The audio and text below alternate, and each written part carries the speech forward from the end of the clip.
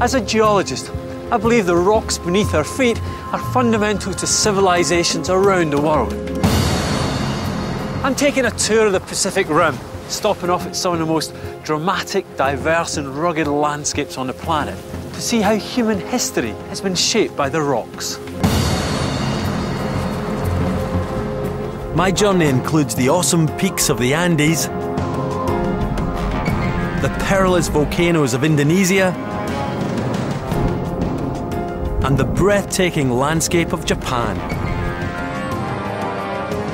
In this programme, I'm in California, where I want to find out what makes millions of people put themselves at peril in the path of geological devastation.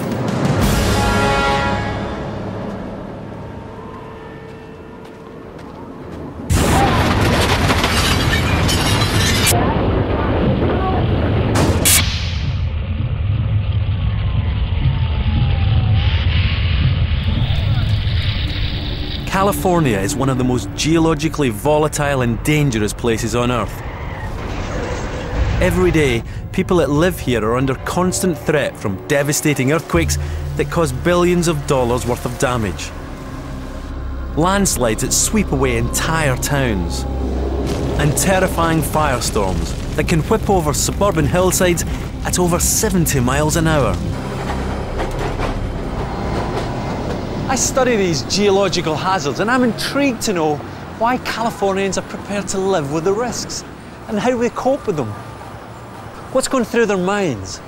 And is risk embedded in the culture? To find the answers to these questions, I'm going on a 3,000 mile journey around California, the most populated state in North America, through searing salt pans and deserts, frozen mountain heights, and narrow canyons, all the way back to the time of the gold rush. It's a journey that will go back 150 years in human history and millions of years in geological time.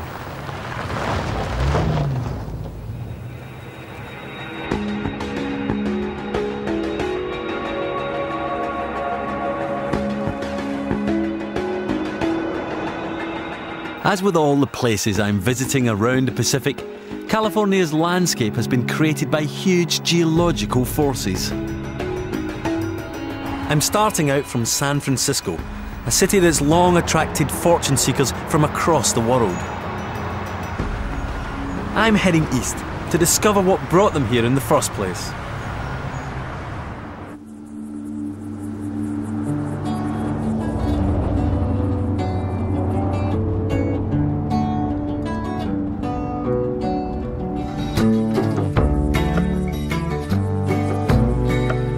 Across California, you realise that the landscapes are as diverse as the people who live here. A contrasting mishmash of fertile valleys and barren deserts, deep canyons and towering peaks. My first stop is up in the Sierra Nevada foothills, the starting point for modern California. It was on this ordinary river in 1848 that a carpenter by the name of James Marshall made a chance discovery that would transform California forever. In fact, I'm underselling it. It would transform the history of the world forever. Marshall was one of the first few white settlers in the area, and he was here to make a living out of lumber. He'd been trying to stop timber from blocking the flow of water passing through the sawmill, and his solution was to blast a deeper channel with explosives.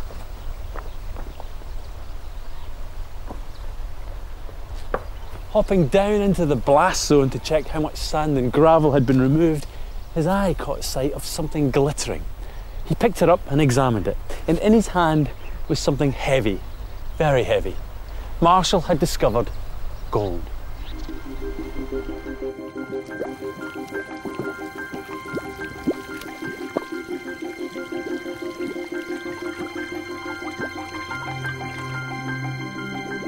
Just here near the town of Bridgeport, there's a whole string of hot springs, and they help explain why gold was found here in the first place.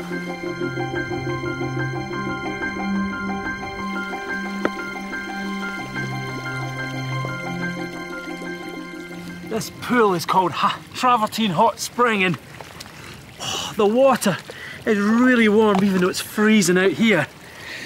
And it's this heat that tells me that there's hot rocks down below. Those rocks heat up water underground and force it up to the surface, creating these pools. Because the water's hot and under pressure, it dissolves the rock, forming a kind of mineral soup.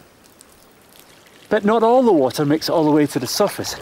Sometimes it gets trapped in cracks and fissures, and as it cools, its cargo of minerals and elements gets precipitated out, and amongst them is gold.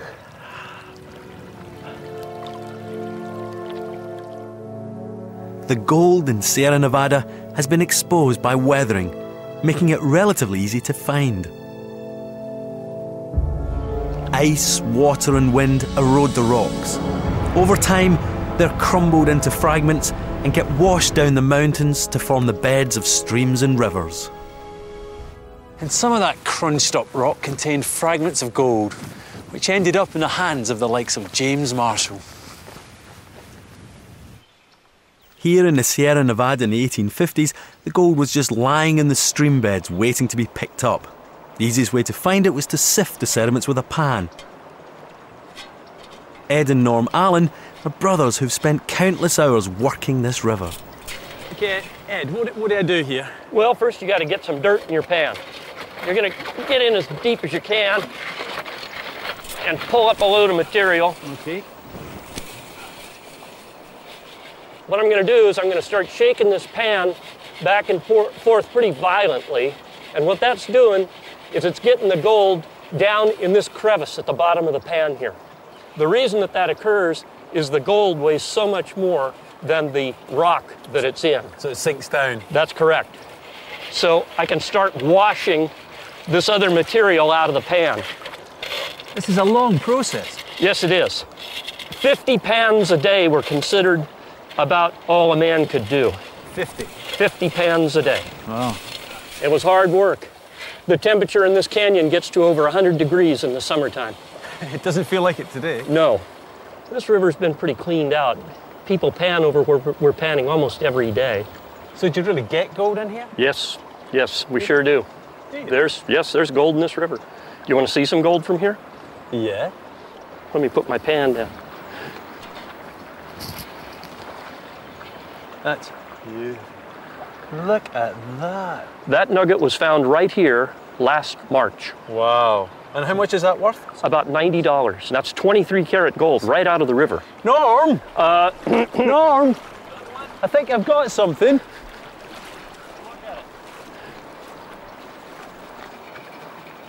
Oh, yes.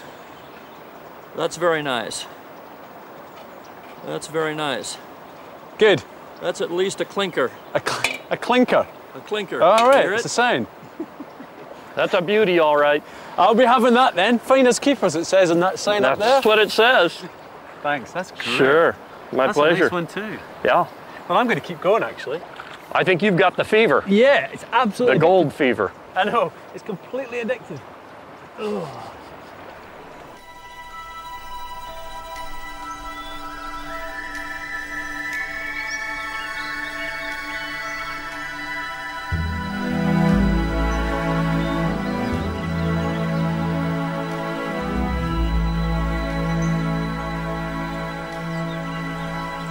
Within weeks of Marshall's discovery, people were running through the streets shouting about gold in the mountains.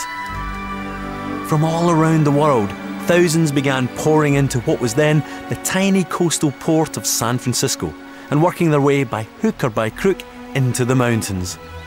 The dramatic red cliffs at Malakoff Diggings look natural, but they're one of many huge quarries the miners left behind.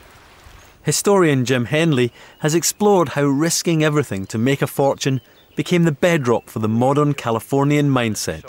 Oh, sure. It's, it's an illusion to think that miners were grizzly old men. They're young men coming from the East Coast who grew up in a technological environment. And they had concluded that there's a lot of gold here, but it's not big nuggets, it's little fine dust. And by the end of 1848, it's a business. It's an, it's an industrial operation that requires the scale that a single person can't do. Within a couple of years, the pans and picks were replaced by mass mining on an industrial scale. A quarter of a million miners were to reshape the Californian landscape. But how did this ambition to make money transform the culture of California? Big towns like San Francisco and Sacramento become the supply centers to these miners, and there becomes a culture of mining the miner. There's more money to be made in supplying the miner with his needs and relieving him of his gold than there is to be made standing in a stream that's yeah. cold or standing out in the rain like we are here. It's it's nasty environment doing this. And the infectious nature of mining as a risk-taking venture infected the merchants in the same way. It was okay to take big risks. So you had this growing commercialization very fast, lots of entrepreneurs coming through and then is there a real start of a risk-taking culture? It is a risk-taking culture, and that is that is what it's really all about because nobody is here to criticize you for making a mistake. Mm. You look around, everybody else has made mistakes, and they get up and try again. That's okay. Mm. And so that's the mindset. And it goes from the miner to the banker to the commerce and commercial people right through the line. So it was in this culture of anything goes freedom that the Californian mentality was born. And it was all down to the geology, down to gold.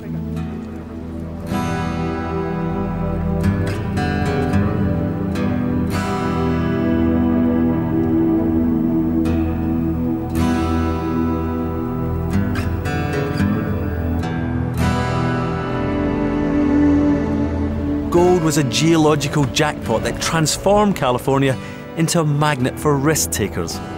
In fact, they took enormous risks just getting to the gold fields in the first place.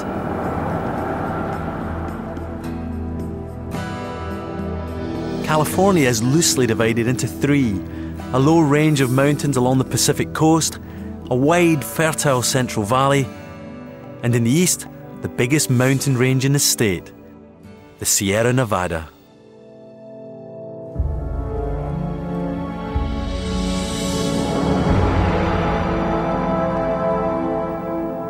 This virtually impenetrable mountain range was a barrier that filtered out all but the most determined of gold seekers. And it's easy to see why. Towering above me is Mount Whitney. At well over two and a half miles high, it's the tallest peak in the continental United States. Crossing the Sierra Nevada really was a formidable task and one that forged a pioneering spirit. But further south, the trails could be even worse especially here. Death Valley, a 250 mile long desert, one of the hottest places on Earth.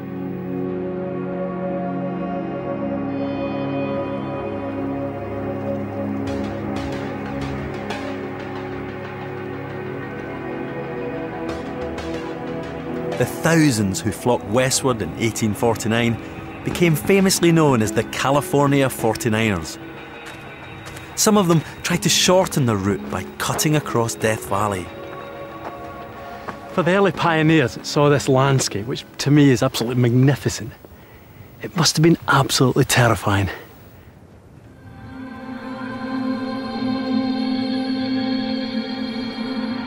Stumbling into uncharted territory, the emigrants wandered about for weeks in this barren waste of dried up lakes and weird salt formations.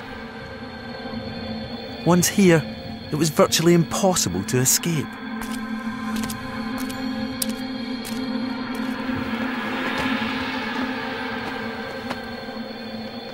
This is Badwater, the lowest point in the Western Hemisphere, 85 metres below sea level.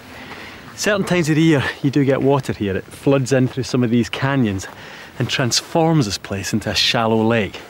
But the trouble is the water can't get out. It just evaporates away, leaving behind all this salt. Just like those early pioneers, it's easy to get into these valleys, but really difficult to get out and get on to the goldfields beyond.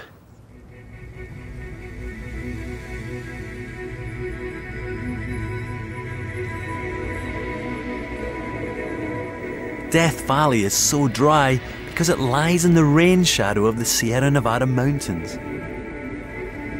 Clouds coming east from the Pacific dump their load of rain as they pass over the cold mountain heights, leaving the air dry and clear here on the other side. The stranded pioneers only just made it across, having killed their oxen for food and burned their wagons to cure the meat. It's legendary adventures like this that became woven into the Californian risk taking psyche.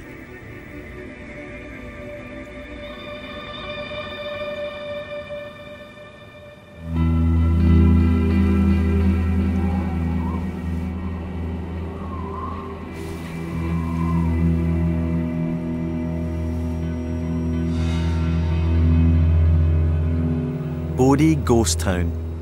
Elevation two and a half thousand metres. Population zero. This is what greeted many who came to make their fortune. A harsh mining town in the middle of a mountain wilderness. Prospectors the world over were blinded by the slim possibility of making a better life rot from gold. For many, though, this was what lay in wait a tough life in bitter isolation. In the year following Marshall's discovery, 100,000 so called 49ers poured into California, and towns like these sprung up throughout the state. It was here that these young, ambitious men came to gamble with their futures, and although hopes were high, the odds were stacked against them. You may think James Marshall was a lucky man, but he wasn't. He was just one of many for whom gold would bring nothing but broken dreams. He didn't own the land where he made his discovery, and his sawmill went down a pan as soon as all the able bodied men were dazzled with the hunt for gold. Although the chances of success were small, miners went to any lengths. Many who came risked everything and ended up with nothing.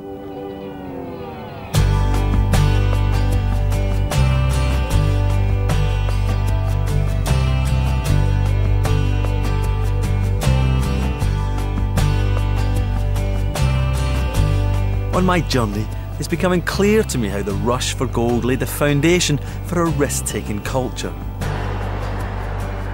Thanks to the geology of California, the ultimate home of the American dream was born.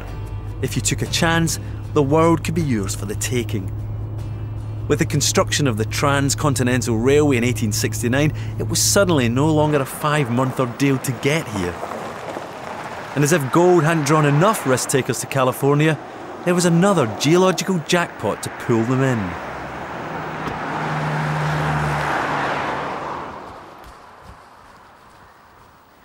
I'm on Highway 150 near Ojai, Santa Barbara. And right here on the roadside, this black gooey stuff is oozing out of the hillside. It's a naturally occurring tar, and it's a sign that beneath these rocks lies another fortune spinner black gold.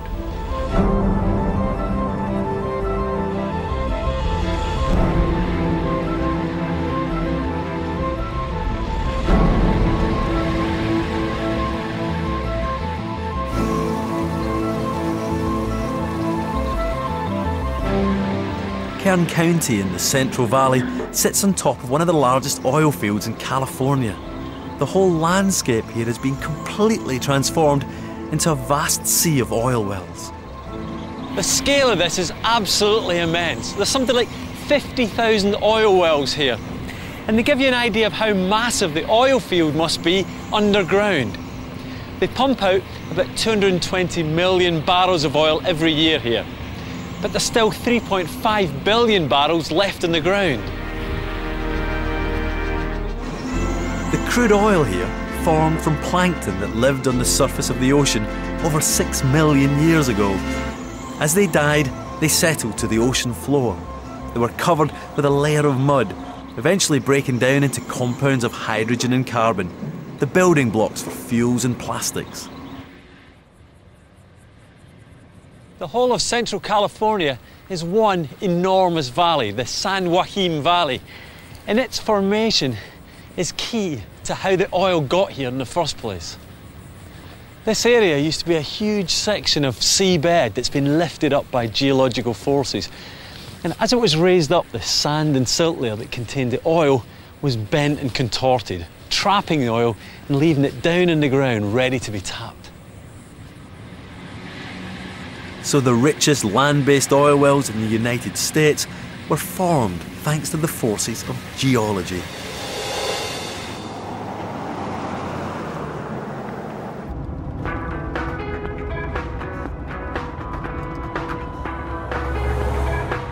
Just like the influx of the 49ers of the gold rush, thousands poured into the state in search of their own gushers. For some, it would become a personal passport to instant wealth.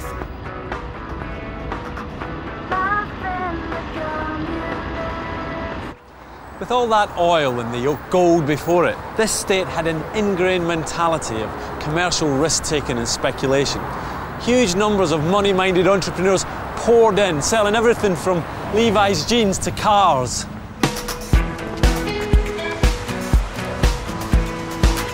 New industries are often regarded as risky because they're trying to find a footing in an uncertain area of commerce.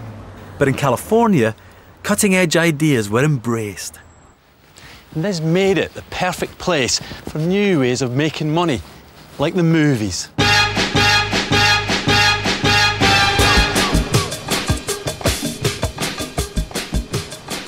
People say filmmakers came here because of the great weather and fabulous locations. I'm sure there's something in that, but it's not the only state with good weather. Just as important is the bedrock of innovation. A culture that was open and hungry for new ideas, new industries, and creativity. The natural place for an upstart industry like film. And that culture continues today. Silicon Valley is the largest concentration of high technology in the United States. Just like the gold, the oil, and the movies, it's no surprise that this 20th century industry emerged in California. New high tech ventures can be just as risky. Think back to the collapse of the dot com boom. But if you are successful, the rewards could be huge. In California, you really can turn up with nothing and become a self made millionaire. Thousands have done just that. So it's no surprise Californians are so positive and have this who dares wins attitude. But what I want to know is whether this explains why they're prepared to live with geological peril.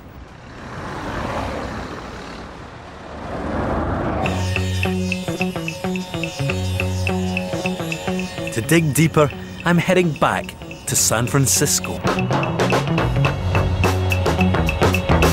Jutting out into a natural harbour, you'd think there couldn't be a better place to build a city. The early settlers probably thought that too.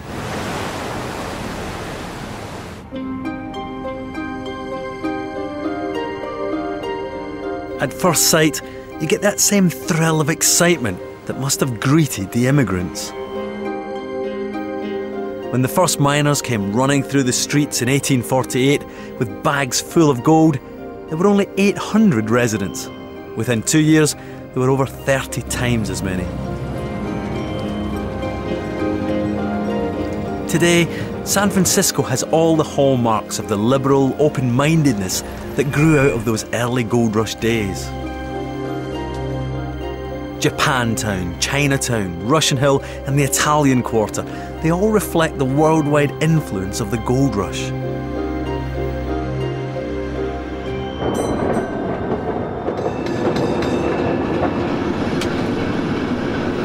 These streets look great in Hollywood car chases, but I'm amazed that he even considered building a grid system on such steep slopes, let alone a network of cable cars. In a culture where anything is supposed to be possible, this must have seemed like a triumph over nature and all that troublesome topography. But Mother Earth has dealt a cruel blow to San Francisco. All 43 of her hills and 800,000 residents lie right across the most geologically unstable zone in California. The San Andreas Fault.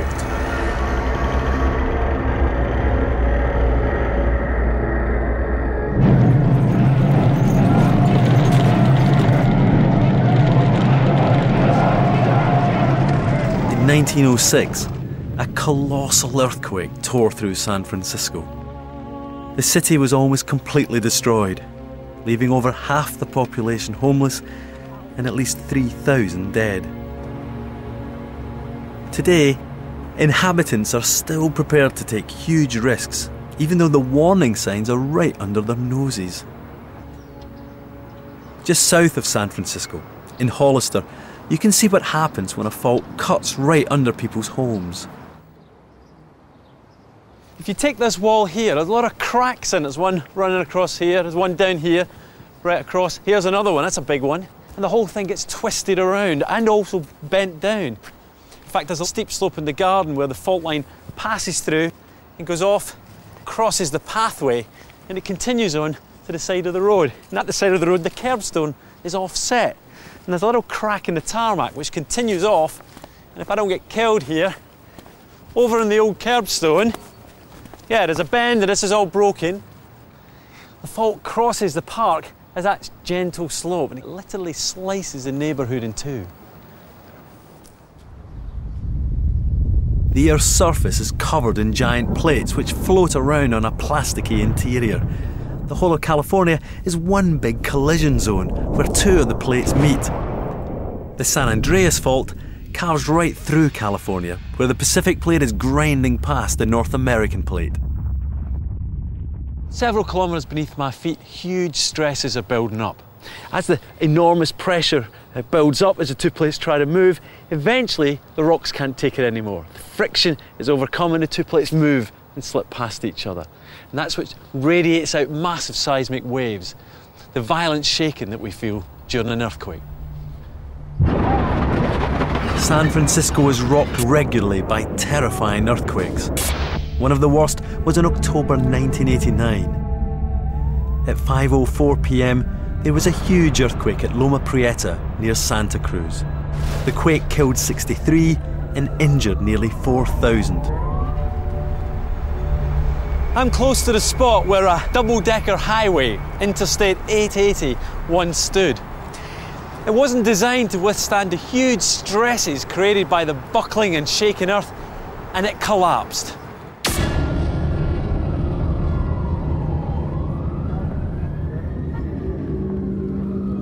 If it wasn't for the fact that there was a World Series baseball game on TV, it would have been gridlocked with rush hour traffic when the earthquake struck. Even so, 42 people were killed when the upper concrete tier collapsed down on the lower one, crushing the vehicles.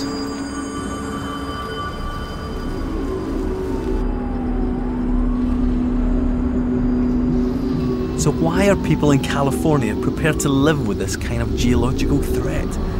Is this all down to a culture of risk taking? Or is something more subtle going on? Someone who's been looking into these attitudes is psychologist Dr. Christine Rodriguez. Well, the California culture has had um, a risky streak um, probably since 1849 with the advent of the gold rush. But this uh, risk taking culture um, does not really have anything to do with the riskiness of the physical environment here. There's earthquake risk, there's uh, wildfire hazard uh, risk, there's landslides, there's floods, there's droughts, uh, you name it. But that does not have an impact on the culture so much because people's perception of risk is very faulty. People tend to not understand probabilities very well. That's what keeps Las Vegas in business. You know, you talk to people about what is their retirement plans, and they'll say, Well, I'm counting on winning the lottery. And the chance is less than being struck by lightning in the state of California, but a lot of people really sort of think of that as their retirement plans. How do people in California then feel about earthquakes? Do they, they accept as a risk there? They do accept them, but most of the time people just tune it out. They want to live here, and earthquakes come with the package, and they just would rather not think about it. It's a denial mechanism, and people use denial mechanisms in many parts of their life to avoid facing things that are very um, unpleasant, like a conflict with their boss or with their children. We tune out the risks that we're taking getting to our car to drive to work. We just as soon not think about it. but sometimes that nervousness about the environment is still there. So what we'll do is displace it. And so everybody in uh, California seems very, very concerned about um, uh, uh, tornadoes in Oklahoma or hurricanes on the Gulf Coast. Um, and when I was uh, visiting Puerto Rico, the big thing there, instead of focusing on uh, their earthquake hazard and on their hurricane hazard, they were fascinated with earthquakes in California. So. So there's a basic human trait to misjudge risk, but Yes. this is particularly bad when you live in such a perilous environment. Yes, um, we have so many uh, risks to perceive inaccurately. so. There's undeniably a, a history of risk taking here when it comes to making money and fortune seeking. But when it comes to geological disasters, it seems like Californians aren't risk takers after all. It's more that they avoid thinking rationally about the odds in the first place. And I don't think it's unique to Californians. With natural disasters, our mind plays all sorts of tricks on us. We avoid thinking about life's dangers in order to cope with them, and we, we bury our heads in the sand when we don't really realise that we're doing it. Unfortunately, this, this human trait may leave many Californians unprotected from the real sources of danger. You'd think that with such a catalogue of disasters behind them, Californians would be more prepared for catastrophe. Instead, they seem to carry on as normal. Somehow, the lessons of history have been ignored.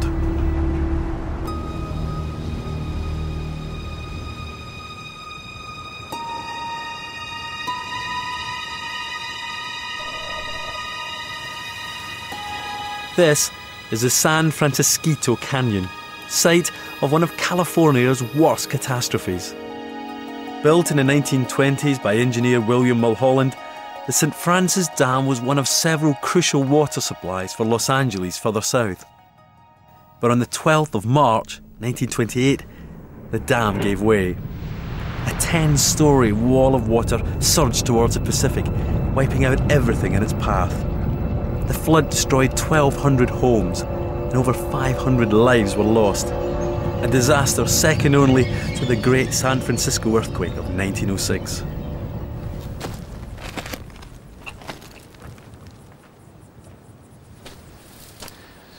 It's incredibly eerie to revisit the site of such a devastating disaster. It's also quite difficult to know what goes where. It's a bit of a jigsaw here. I guess one side of the dam was over there and it swings over where we are and goes to the other side in the shadowy ravine there. These massive concrete blocks are all that's left of the dam. The remains were blasted away with dynamite, almost as if to erase the memory of it forever.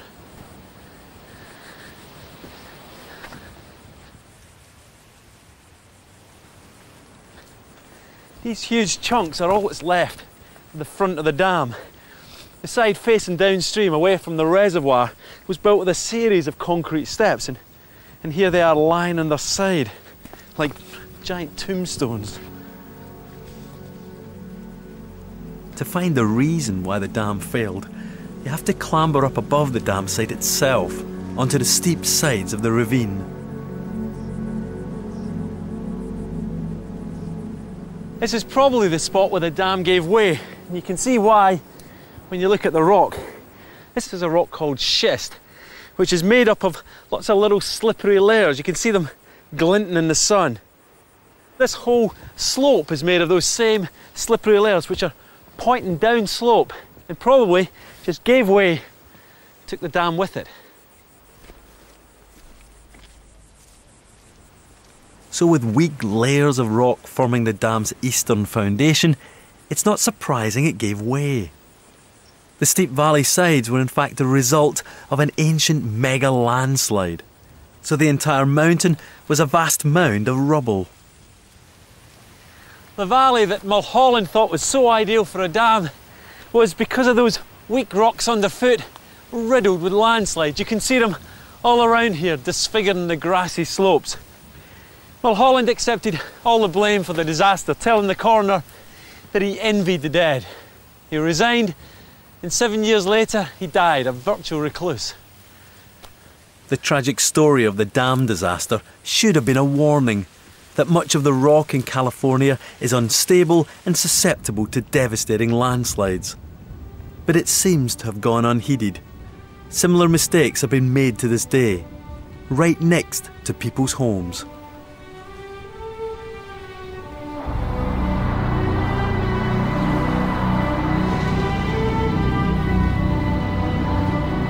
Travelling along the Pacific Coast Highway north of Los Angeles.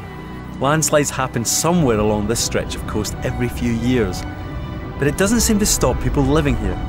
With the Californian population ever increasing, more and more people are spreading along the coast, and competition for a piece of the idyllic Californian lifestyle is driving people into the danger zone.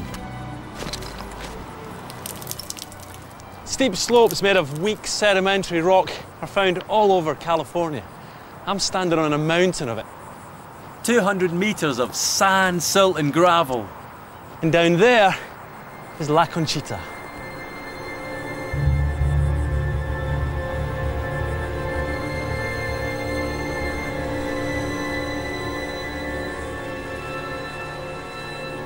Sandwiched between the Pacific Ocean and steep walls of crumbly sedimentary rock, La Conchita had been a disaster waiting to happen.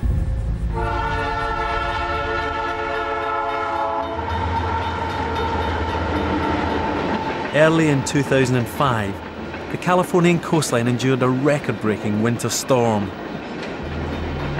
It rained continuously for five days, so that the ground became completely saturated with water. One January afternoon, the hills above La Conchita suddenly gave way. Nearly half a million tons of debris slid down the mountainside, ploughing into the community below. Ten people were buried alive as a wall of mud engulfed their homes. Virginia Costas watched from her upstairs window as the landslip careered towards her home.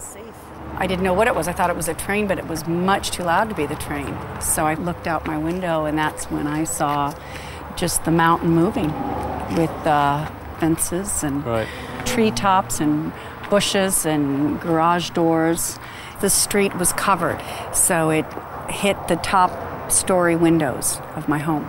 Wow. And there's crosses and things like that. So I guess houses under there? I mean, what's the story? The houses were buried, uh, people were buried, 10 fatalities. And the, yes, 10, and the emergency workers lived in my home for a week.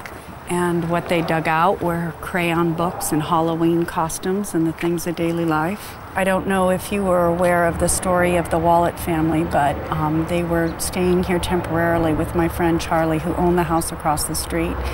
And he um, lived in his bus temporarily to give them a place to stay. His wife and three children were in the house, and he went down to the store.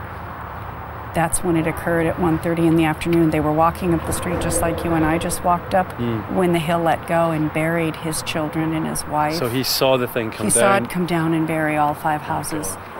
Charlie lost his life and his friend lost his family his wife and his three children on this street we all had birthdays december 1 2 and 3 charlie's was the first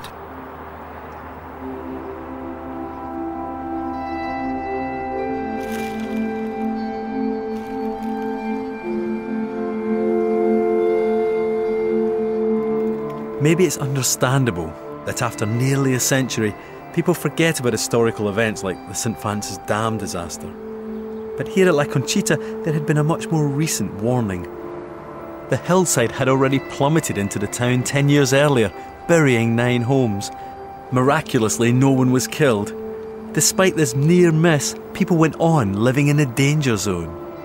My father lives here uh, full time. He wanted to come back to the house. He helped me repair it and expects to be here um, with the risks. He thinks it's worth it. Others have sold because Los Angeles commuters would like a, a beach house and have purchased the properties knowing the risks. So this is still a place that people want to buy, Yes. and even the street. The house next door to me was sold three months after the slide.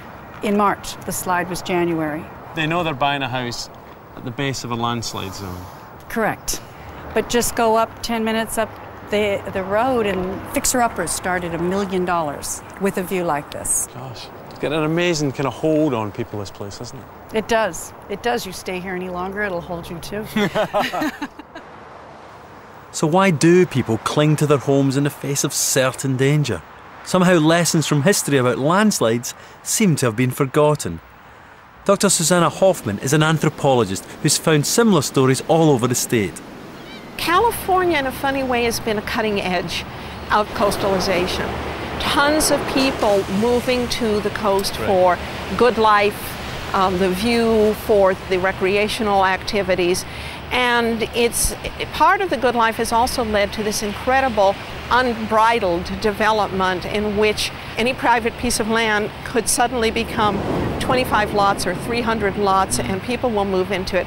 It's a cultural illusion that we can have good life and there is no consequence, there's no price, there's no risk here.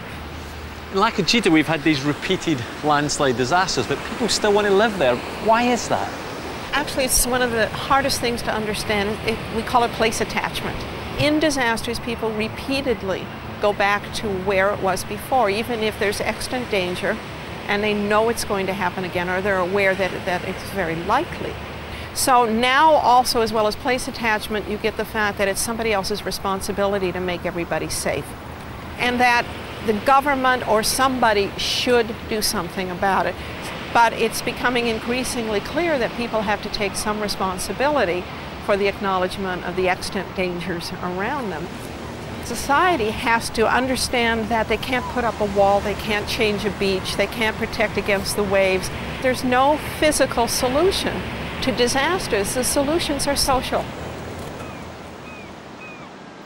Instead of learning from repeated disasters and moving away, people prefer to live with the risks.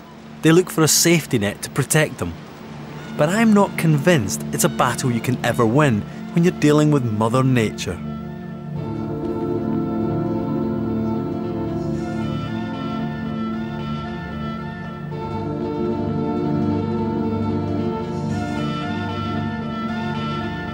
I can't deny that California is breathtakingly beautiful.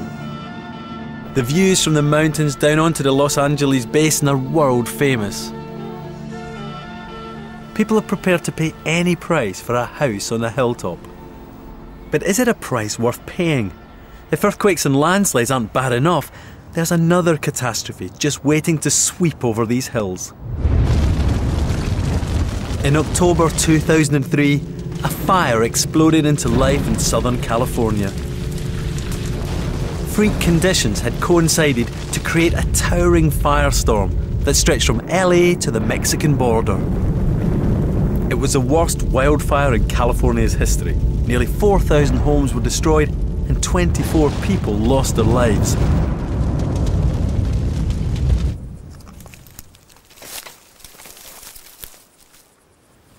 Houses are continuing to be built in areas where raging fires are a dead certainty. They're inevitable because here the environment, the, the landscape, the climate, the vegetation is primed for them. The steep slopes of southern California's mountain ranges form an ideal habitat for highly flammable brush vegetation called chaparral plants.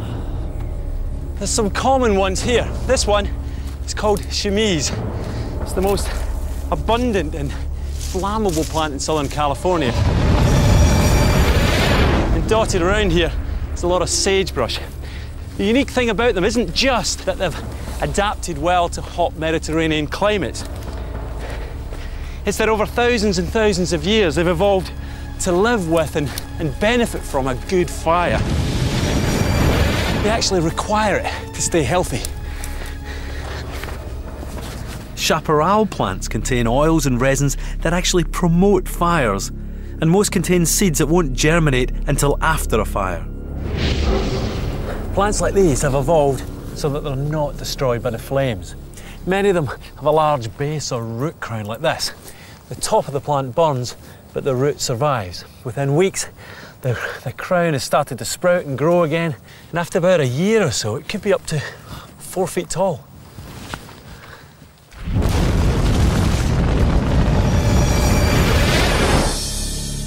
South facing slopes become extremely hot and dry because they face directly into the sun. As hot air rises, it preheats the vegetation above, so the fires spread even faster. The steep terrain accelerates the fires in other ways too. Canyons funnel air currents, and ridges increase the wind speed flowing over them. Each year, the hot desert Santa Ana wind acts like giant bellows, blowing westwards directly towards people's homes. In 2003, they fanned the inferno into a 10 metre wall of flames, blasting them faster than cars could drive to get away. 14,000 firefighters were called in from across the USA. The fire raged for days. Only when it reached the sea did it finally run out of fuel. So, why do people here continue to build in the fire belt? Author Mike Davis has observed some very interesting attitudes people tend to have a, a, schizophrenic attitude toward the landscape. They regard the landscape as a benign, sunny, given environment uh, until something happens. And then people tend to have an overreaction, a paranoia. So here you have people living in an absolutely controlled environment. Every aspect of their environment has been carefully planned and regulated and is wholly artificial. But right next to them is these chaparral covered hills. So you can live in a landscape like this for 30, 40, even 50 years before it burns. But when it does burn, you get catastrophic fires. So the view from the backyard is looking at the equivalent of a lake full of gasoline or, or, or crude oil, but it has the power to sweep away this entire uh, development. Are people in this, these communities surprised when wildfires burst up in their, their midst? Well, probably with the exception of a few old timers, most people are hysterical. They're always searching for anyone to blame, not on the location of the housing or the ecosystem. They want to see the hand of an arsonist lurking in the trees or the bush, the maniac with his lighter in his hands, although it's almost immaterial whether there's an arsonist or not, given enough fuel mass, enough unburned chaparral, uh, wildfire happens. Uh, that's the message the landscape's trying to tell the, uh, the suburbs. It seems like what has to be told is those communities have to be told you can't do that, but that's very much against the Californian mindset. Well, of course it is, or rather, it's against the culture of people who still want to imagine they're living on the Jacksonian frontier, that they have this kind of untrammeled personal freedom to uh, ride their mo- motorbikes or drive their four wheel drives, to live in big homes. Everything about this form of settlement is contradictory and ironic, and in, in my way of thinking, ultimately unsustainable. Uh, after a while, what you end up with are dead bodies as a result of this.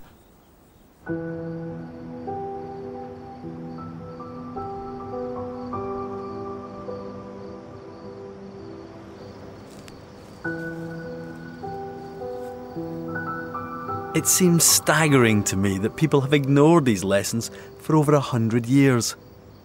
Today, seven million people live amongst the chaparral. The lure of somewhere beautiful is simply too tempting. But if we can blame people, not nature, the threat seems somehow more controllable.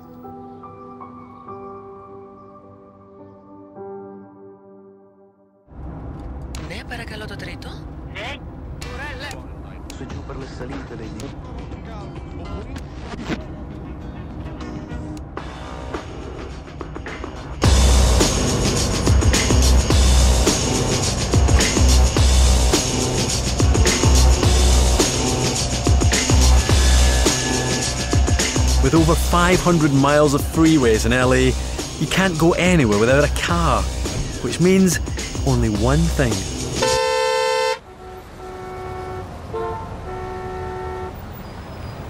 Heading back to LA, you realise why so many people head for the hills. This traffic is terrible.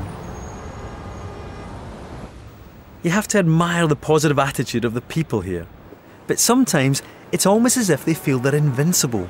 And there are signs of this way of thinking all over the place.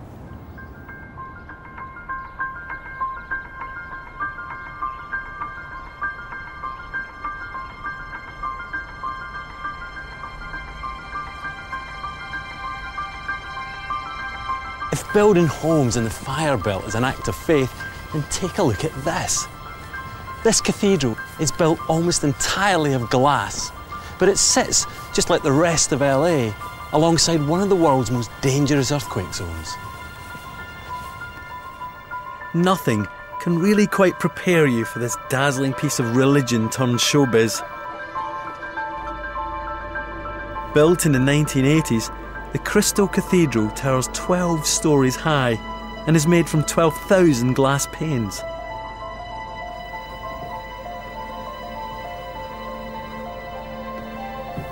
Regardless of what you think about churches and religion, there's no getting away from the fact that this is incredibly impressive. I'm still not sure I'd rather be standing here in a big quake though. Remarkably, according to the cathedral's founder, Reverend Robert Schuller, it's designed to be earthquake proof. The world's leading uh, consultant on builders and architects when it comes to earthquake proofing structures is a Christian, and he's been my guest here. He said, if you know an earthquake is coming, let me tell you, run into the cathedral. Oh, that's That's, that's the safest building in all of California, Wow. barring none. It symbolizes what at the heart a true Christian should become.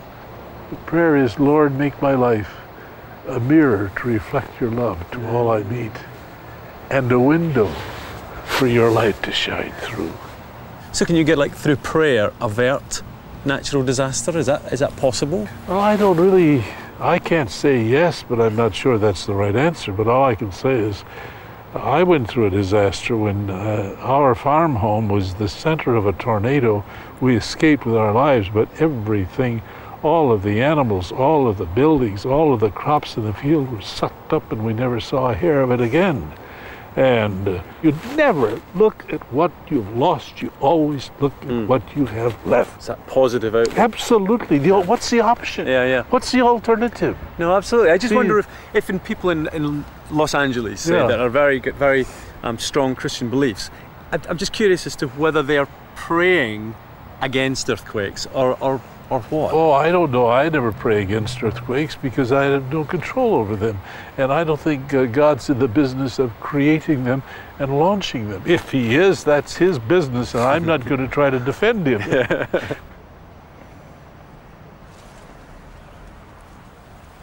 At first glance, this would seem to be the ultimate image of Californian trust in God. It's designed to withstand a major seismic shake, but to be honest, if you were at all worried about earthquakes, you wouldn't choose to build everything in glass. Instead, this seems to cry out a very different kind of statement. It seems to shout out a triumphal message of invulnerability, a confident defiance in the face of disaster. To me, it does seem like a brazen symbol of the Californian belief that man can conquer nature. Maybe he can. But time will tell.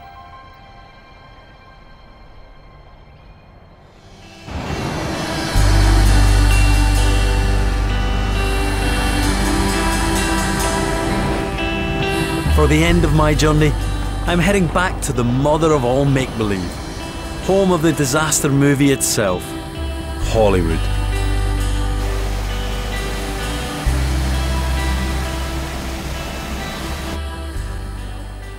My travels, I've come across plenty of different ways in which people escape from the reality of geological disasters.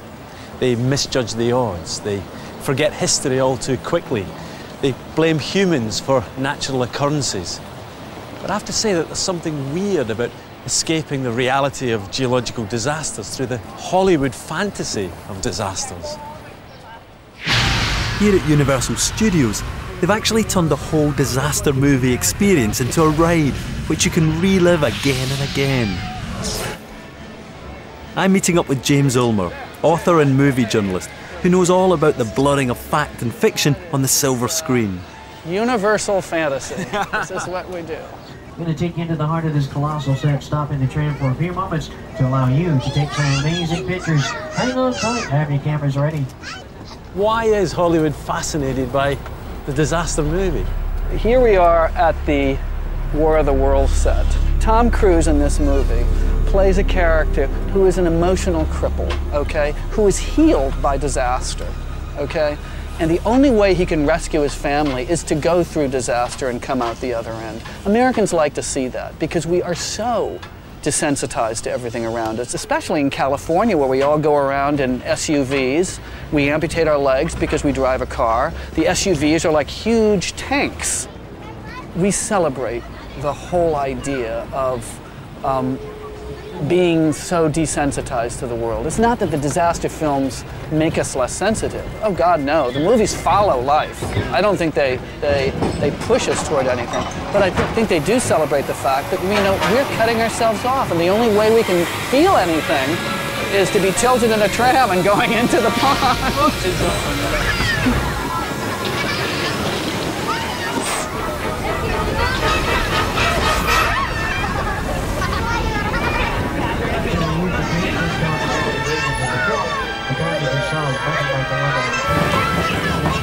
He's a bit tamer these days, I think. Yeah, He looks a little bit- plexiglass. plexiglass. One of the things about disaster films is that no matter how big the disaster and how awful it is, society pulls together in the end. So it creates social cohesion. almost. Absolutely. I mean, if you talk to people who lived through the, the riots in Los Angeles, which were in 1994, you'd think, oh my God, it was, it was horrible. There were floods, there were fires, there were, you know, people were burning down the buildings. Most of the people who lived through that, and I was one of them, it was our favorite time to be in LA. It was the only time where people drew together and found a common cause and could really relate to each other on an individual basis. The idea that, you know, there's a whole industry built around this is something that I think just helps us cope with it.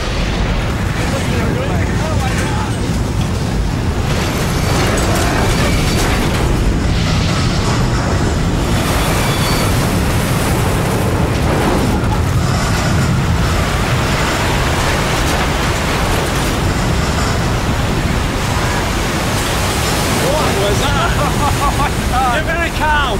I am. This is, this is what I mean. I'm completely jaded to this. It's just used to this, is it? In, in California? In California, unless you have, that was a 4.2 earthquake. Unless you have a 6-point earthquake, you know, I give a seismic yawn.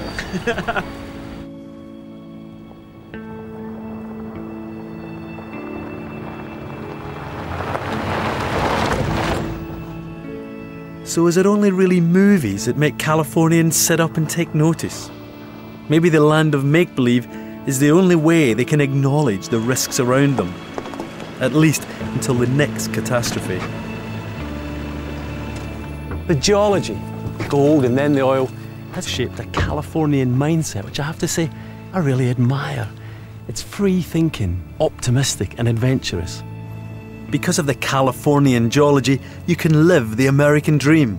If you're successful, you can have whatever you want. But it seems to me that it's just a cultural illusion, because that same geology can turn the dream into a nightmare. It's the same story all round the Pacific Rim. If you can't suffer the downsides, you can't enjoy the benefits.